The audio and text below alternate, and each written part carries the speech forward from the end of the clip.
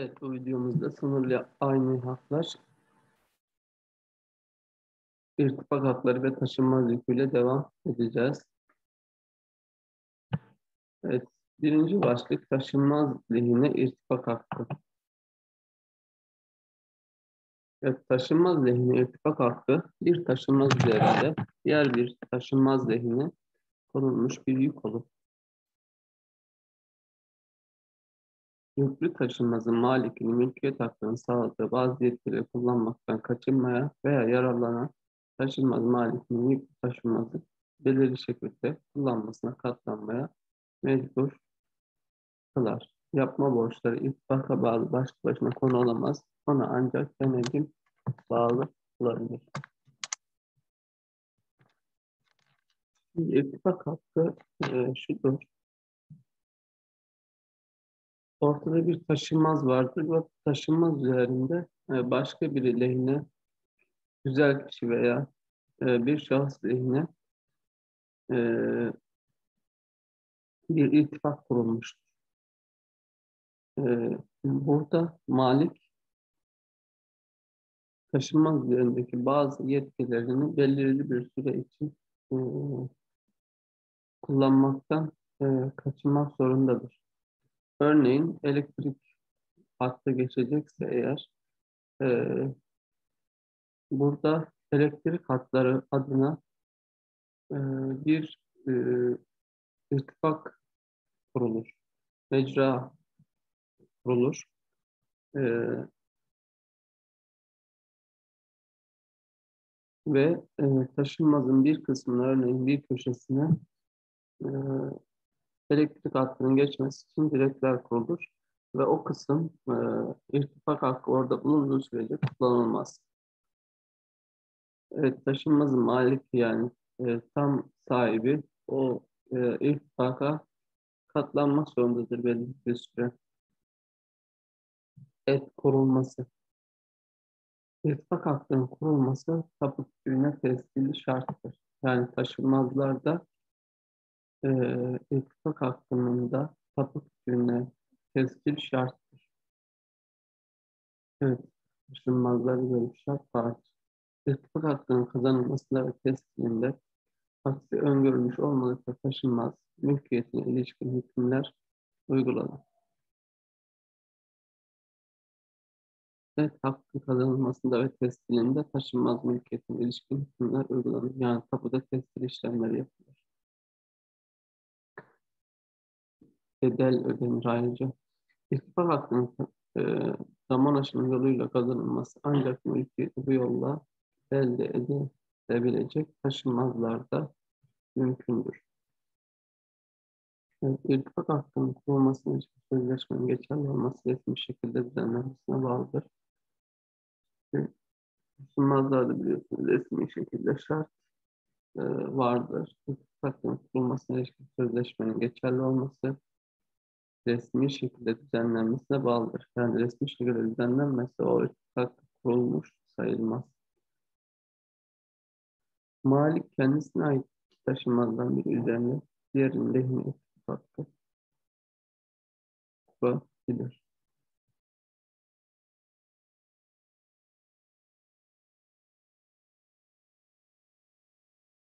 Genel olarak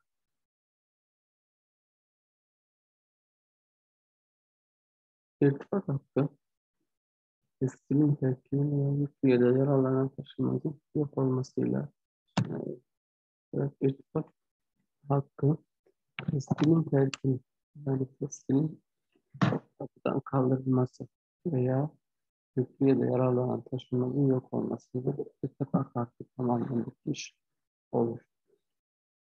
Her iki taşınmazı aynı, aynı kimsenin malik olması, yüklü veya yararlanan taşınmazlara aynı kimse malik olursa bu kişi irtifak hakkını terkin ettirebilir. Örneğin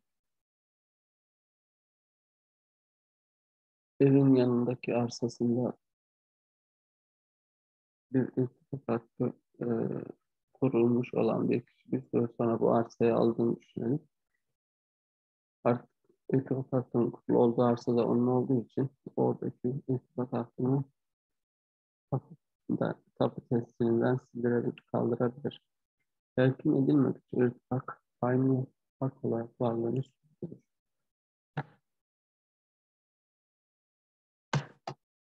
Evet tabi testinde eğer irtifak devam ediyorsa e, o hak kaldırılmadığı sürece süre irtifak devam eder. Lehine irtifak kurulan taşınmaz için bu hakkın sağladığı hiçbir yarar kalmamışsa yük taşınmacı malik bu hakkın terkini isteyebilir. Lehine irtifak kurulan taşınmaz için bu hakkın sağladığı hiçbir yarar kalmamışsa yük taşınmacı malik bu hakkın terkini isteyebilir. Yani örneğin şöyle düşünelim. E, taşınmaz üzerinde, arsa üzerinde e, kurulmuş olan bir alet, edevat veya cihaz olduğunu düşünelim. Veya şöyle şöyle de olabilir. Örneğin bir tele, televizyon vericisi veya geçici bir süreliğine bir e, çoban kulübesi kurulmuş olduğunu düşünelim. Tabuda tescili var ama artık kullanılmıyor. O onun e, işi bitmiş. E, yani bundan sonra kullanılmayacak. Tamamen terk edilmiş. Çıkmaz malik bu hakkın terkini isteyebilir. Yüküne oranla çok az yarar sağlayan bir hakkının bedel karşılığında kısmen veya tamamen terkini isteyebilir. İstenebilir. Yüküne oranla. Yani arazi, örneğin arazi veya arsa üstünde geniş bir alan kaplıyor ama fakat kurulan kişiye çok az bir menfaat sağlıyor. Örneğin çok verimli bir arazi var, taşınmaz var ama o verimli bir arazi üstünde ilgili kişi sadece orayı belirli aralıklarla e, araç veya işte diyelim hmm, araç otoparkı kullanıyor veya farklı bir şekilde yani çok az bir yarar, yarar olarak yarar sağlayan bir iş olarak değerlendiriyor. Kanun demiş ki eğer çok az yarar sağlıyorsa malik diyor. Yani bedel karşılığında etik hakkının diyor oradan kaldırılmasını isteyebilir diyor. Önemli burası.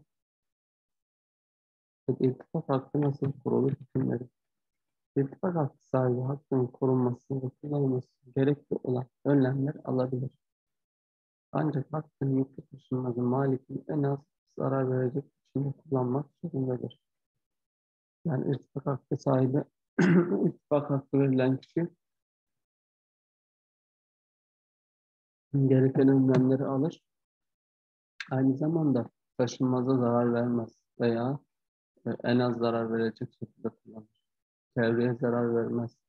Örneğin malikin orada mahsulü varsa mahsule zarar vermez veya çevreye zarar vermez. Bunu en az şekilde atlatmak zorundadır. Yüklü taşımazın malik irtifak hakkını kullanılmasını engelleyecek ya da zorlaştıracak davranışlarda bulunamaz. Evet. Aynı zamanda malik de irtifak hakkını tesis ettiği hak irtifak hakkının kullanılmasını engelleyecek ya da zorlaştıracak davranışlarda bulunamaz.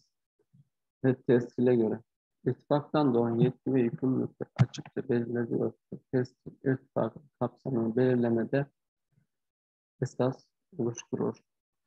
Tescilden açıkça anlaşılmadığı halde kapsam, tescilin sınırları içinde hakkının kazanma sebebine veya uzun süreden beri davasız ve iyi niyetli kullanılmış biçimine göre belirlenir. Evet. Tescilde eğer irtifakın e, konusu nedir? İrtifaktan doğan ve yetkiler nedir? Yükümlülükler nedir? Bu açıkça testilde belirtilir. Testilin kapsamı dışına çıkılamaz. E, testile aykırı hareket edilemez. Yani irtifakın konusunu kapıya verilmiş olan testil e, ne yapar? Belirler. İhtiyaçların değişmesi. Yararlanan taşınmazın ihtiyaçlarındaki değişiklik yüklü taşımazın irtifattan doğan yükünü ağırlaştıramaz. Şimdi yararlanan taşımazın ihtiyaçlarında değişiklik, yüklü taşımazın irtifattan doğan yükünü ağırlaştıramaz. Tarla yolu, yaya veya araba geçidi gibi geçit haklarıyla hayvan otlatma, hayvan sulama, tarlalara veya artlara su alma hakları ve benzeri hakların kapsamını belirleme ve taraflar arasındaki anlaşma veya özel kanun hükümleri yoksa e, terel adet uygulanır. Yani şunu diyor.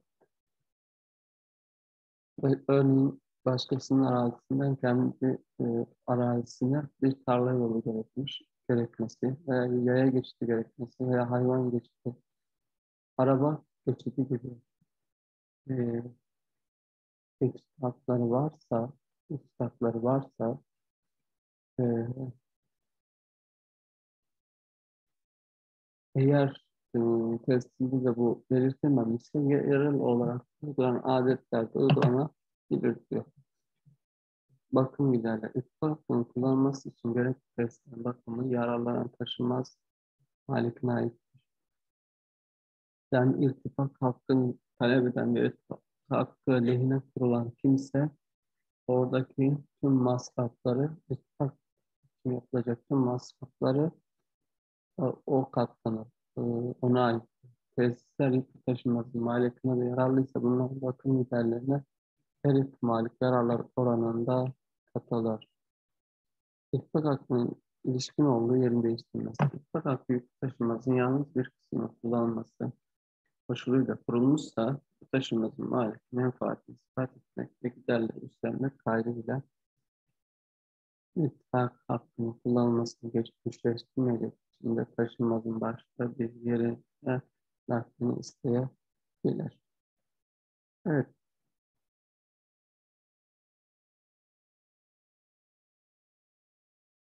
Şöyle örneğin arazinin bir kısmında kurulu bir ittifak söz konusuysa e, aynı zamanda e, bu taşınmazın e, maliki, bu taşınmazın maliki e, menfaati gereği örneğin o kurulu arazinin e, için başka bir şey düşünüyorsa e, irtifakın başka bir tarafa taşınması mümkünse başka bir taş tarafa taşınmasını isteyebilir. Örneğin tarlanın e, dörtgen köşesi e, daha değerli olarak düşünülüyorsa tarlanın daha e, eğimli köşesine taşınmasını isteyebilir. Ancak bunu menfaatine göre karar verilir. Menfaatini kanıtlaması şartıyla yani arsa sahibi taşınmaz maliki menfaatini kanıtlaması şartıyla. İrtifak hakkının kullanılacağı yer tapu hükmünde belirtilmiş olsa bile yüklü taşınmaz maliki bu yetkiyi kullanabilir. İrtifak hakkını kullanacağı yer tapu hükmünde belirtilmiş olsa bile yüklü taşınmaz maliki bu yetkiyi kullanabilir. Evet, mecraların bir yerden başka bir yere nakline komşuluk kuralları uygula göründü. Evet, mecra derken örneğin doğalgaz nakilatının geçtiği bir e, taşınmaz düşünelim.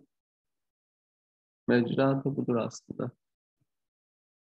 Yararlanan taşınmazın bölünmesi, yararlanan taşınmazın parsellere bölünmesi halinde kural ittifak hakkının her parsel yararına devam etmesidir. Evet, örneğin ittifak ilk defa kurulurken önceki zamanda taşınmaz müstakildi yani tek parçalı veya el birliği mülkiyet söz konusuydu. Daha sonra ittifak parsellere ayrıldı. Kanun demiş ki ittifak hakkının parsellere ayrılmasında her parsel yararının e, her parsel sahibinin yararı göz önünde olur. Ancak durum ve koşullara göre hakkı yalnız bir parselin yararına kullanılabiliyorsa yurt taşınmanın maliki diğer parseller için ittifak hakkının terkini isteyebilir. Tapu sicil memuru ismi o tapu sicil evet ancak durumla koşulları ve hakkı yalnız bir parselin yararına kullanılabiliyorsa yük taşınmazın maliyeti diğer parseller için ittifak hakkının terkini isteyebilir. Yani şöyle örneğin müstakil parsel beşe bölündü ancak e, irtifak irtifak bir tanesinin üstünde kaldı. E, yalnız bir tanesinin yararına kullanılabiliyorsa diyor kanun yüklü taşınmazın maliyeti diğer parseller için ittifakın terkini isteyebilir diyor. Evet, tapusucu memuru istemi irtifak hakkı sahibine bildirir ve onun bir ay içinde itiraz etmemesi halinde irtifak hakkını terkin eder. Evet, tapusucu memuru bu istemi irtifak hakkı sahibine bildirir. Evet, onun görevidir. Onun bir ay içinde itiraz etmemesi halinde irtifak hakkını terkin eder. Diğer parsellere terkin eder. Evet, yüklü taşınmazın bilinmesi, yüklü taşınmazın parsellere halinde kural irtifak hakkının her parsel üzerinde devam etmesidir. Yüklü taşınmazın parsellere verilmesi halinde kural irtifak hakkının her parsel üzerinde devam etmesidir. Ancak irtifak hakkı belirli parseller üzerinde kullanılıyorsa durum ve koşullara göre de kullanılamayacaksa bu parsellerin maliklerinden her biri kendi taşıması üzerindeki irtifak hakkının terkini isteyebilir. Evet, yukarıdakine benzer bilmeyenleri irtifak, irtifak hakkı sahibinin hak sahibine bildirir ve onun bir içinde itiraz etmemesi halinde irtifak hakkını terkin eder. Evet, örneğin e, üstünde irtifak hakkı bulunan bir arazinin parsellere ayrıldığını düşünelim. E, işte hak sahiplerinin belirlendiği ve bölündüğünü düşünelim. Bu durumda irtifak hakkı bulunan kısım bir tanesinin üstünde kalmış olabilir. Durumda diğer parseller üzerindeki e, irtifak hakkının terkini silinmesi gerekir. Evet, intifa hakkı ve diğer irtifak hakları. Bir diğer konu intifa hakkı. Evet, hakkı taşınırlar, taşınmazlar, haklar veya bir mal varlığı üzerinde kurulabilir. Şimdi irtifak hakkı sadece e, taşınmazlar üzerinde kurulabilir. Örneğin şu şekilde bir arazi üzerinde bir bina veya inşaat yapılması söz konusuydu. Ve taşınmaz her şekli, taşınmazın her şeklinde ittifak söz konusu olur. Ama intifa hakkı daha geniş bir kavramdır. İntifa taşınırlar da devreye girebilir. Taşınırlar hatta mal varlığı da devreye girebilir.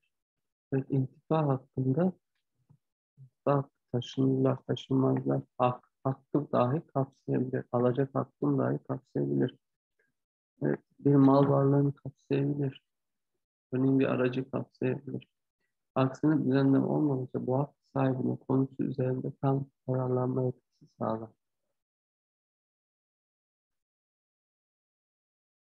Evet, intifa hakkı tam bir yararlanma etkisi sağlar. Şimdi intifa hakkı nasıl kurulur? İntifa hakkı taşımcılarda ziliyetliğin devri. Ziliyetlik o eşya üzerindeki kontrol diye düşünebiliriz. Alacaklarda alacağın devri. Alacaklarda alacağın devri. Evet, taşınmazda tapu kütüğüne testiyle intifa hakkı kurulur. Taşınır ve taşınmazlarda intifa hakkının kazanılması ve tescilinde aksine düzenleme olmadıkça mülkiyetle ilişkili hükümler uygulanır. Taşınmaz üzerindeki yasal intifa hakkı kütüğüne tescil edilmemiş olsa bile durumu bilenlere karşı ileri tescil edilmiş ise herkese karşı ileri sürülebilir.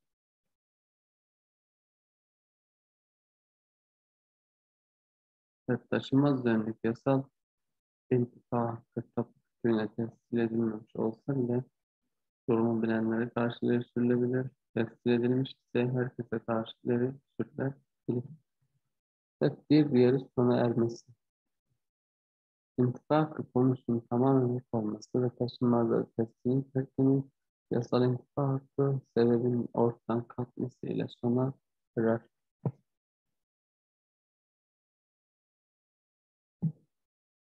Evet, intifak konusunun tamamen yok olması, örneğin taşının yok olması, taşınmazları tescilin silinmesi, terkinin silinmesi, yasal intifak hakkı sebebinin ortadan kalkmasıyla sona erer. Sürenin dolması veya hak sahibinin vazgeçmesi, ölümü gibi diğer sona erme sebepleri, sebepleri taşınmazlarda muhalefet terkini isteme yetkisi verir.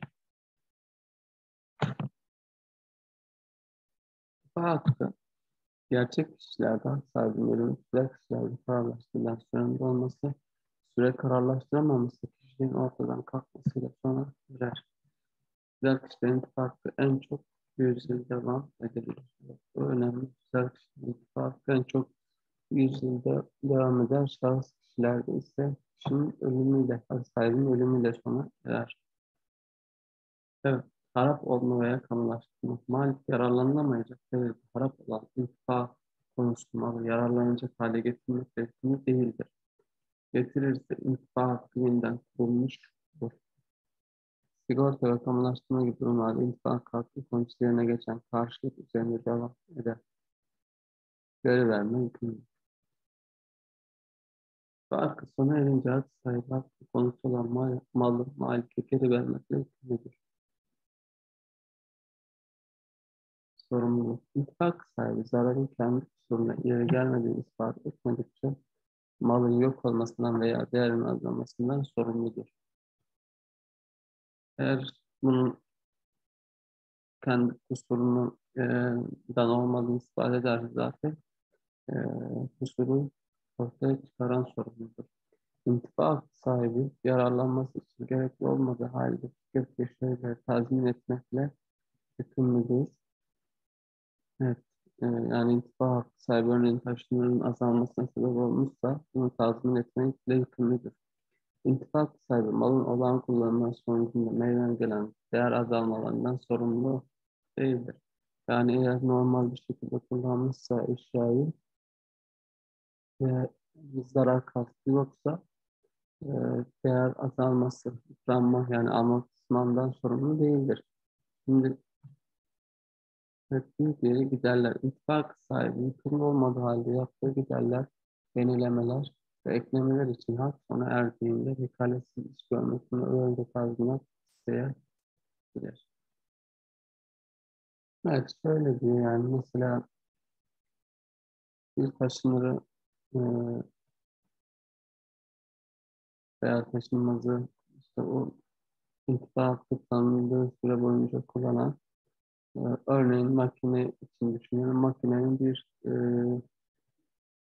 normal kullanılırken akmiyet değil de normal kullanılırken bir parçası değişti. Bu parça değerli bir parça olduğunu düşünelim.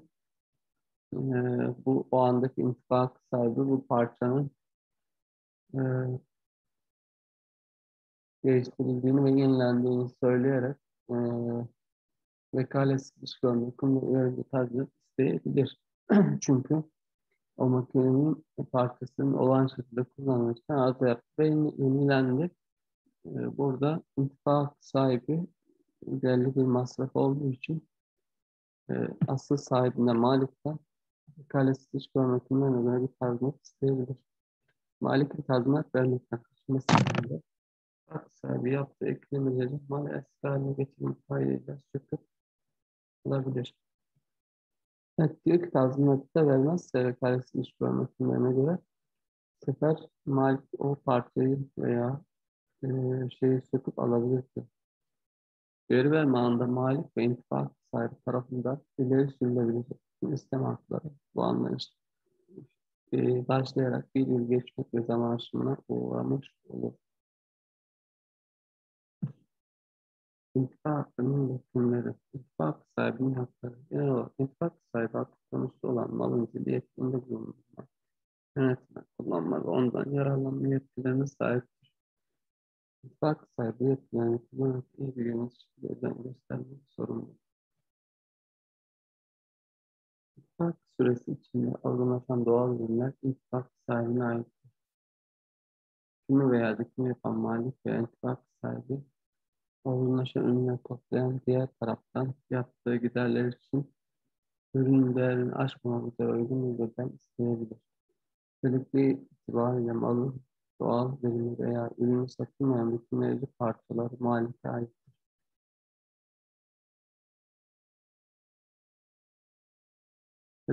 Faizler İntifa hakkına konu olan sermayenin faizleri ve diğer dönemsel gelirleri daha geç muaddel olsalar bile intifa hakkının başladığı tarihten sona erdiği tarihe kadar intifa hakkının sahibine. Evet, diğer videoda intifa hakkı ile ilgili diğer hükümlerle devam edelim.